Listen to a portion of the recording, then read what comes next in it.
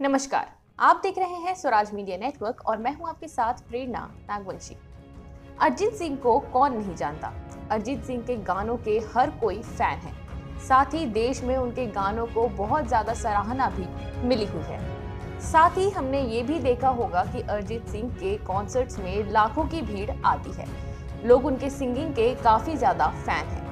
साथ ही लोग उनकी सिंगिंग के साथ साथ उनकी सिंप्लिसिटी को भी काफ़ी ज़्यादा पसंद करते हैं। साथ ही देखा ये भी गया है कि अरिजीत सिंह हमेशा कंट्रोवर्सी से दूर रहते हैं। लेकिन हाल ही में एक कॉन्सर्ट के दौरान अरिजीत सिंह ने कुछ ऐसी बात कह दी है कि वो चर्चाओं में आ चुके हैं। कॉन्सर्ट के दौरान अरिजीत सिंह ने कुछ अहम सवाल खड़े किए हैं, जिनमें उन्होंने ये कहा है, भारत में पाकिस्तानी गानों के प्रतिबंध आखिर क्यों लगे हैं? साथ ही उन्होंने ये कहा है कि आतिफ असलम उनके पसंदीदा सिंगरों में से एक है।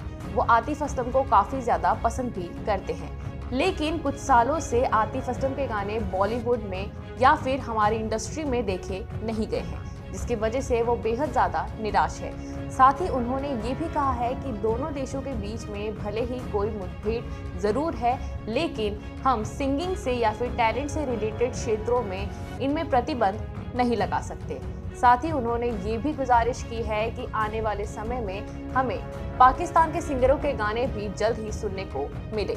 ऐसा उन्होंने गुजारिश करते हुए सरकार से ये भी कहा है कि वो चाहते हैं कि पाकिस्तानी सिंगर जल्द ही भारत में अपने गाने रिलीज़ करें।